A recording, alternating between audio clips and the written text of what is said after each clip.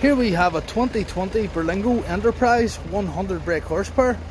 This model comes with a lovely 16 inch uh, uh, wheel trims. It's also got rear sensors, twin rear doors. This model is ply lined with full steel bulkhead.